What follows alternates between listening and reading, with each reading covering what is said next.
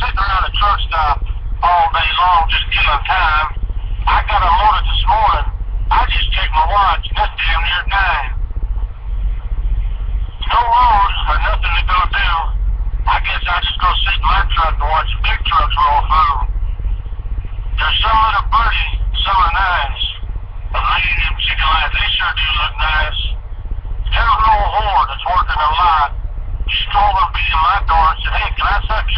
I said, what do you charge? She said, 25. I said, bitch, that's 15 too much. How about a dime? She said, okay, that'll do. But just how long was it going to take before you give me that baby batter that's sticky just like glue? Whoop around, motherfuckers. Whoop that fucking ride. Come on. Fuck all y'all.